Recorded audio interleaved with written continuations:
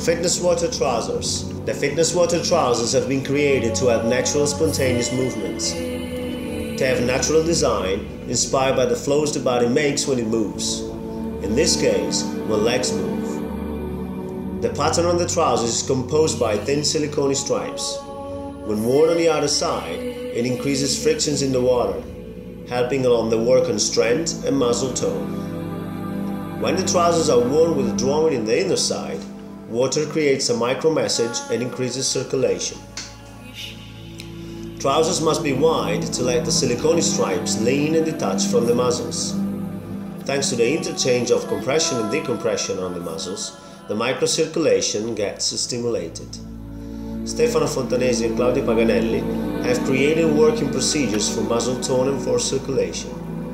30 minutes working out in the water will be enough to ensure amazing results.